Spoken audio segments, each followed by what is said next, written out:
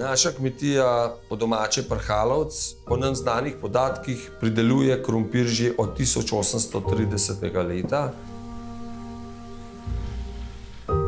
Pri naših pridelkih je zagotovilo, da je slovensko, da je domače, pa da je z ljubeznijo to pridela.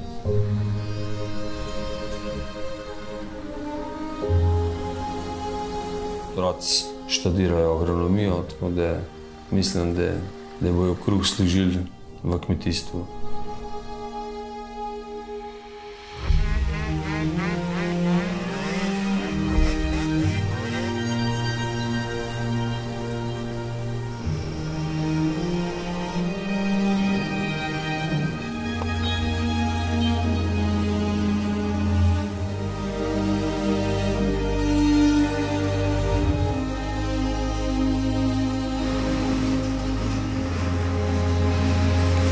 Praksa je tista pomembna stvar, ki ti da v življenju največjo šolo.